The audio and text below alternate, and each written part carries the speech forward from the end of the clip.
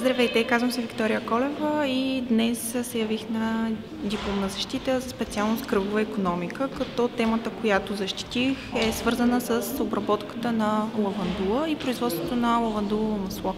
Тъй като родният ми край е центърът на производство, това е тема, която лично много ме засяга. А, решението на проблема, който аз давам е биомаста, която остава след производството на лавандулово масло, да бъде обработвана като етанол или тор, която след това малките производители отново да могат да използват.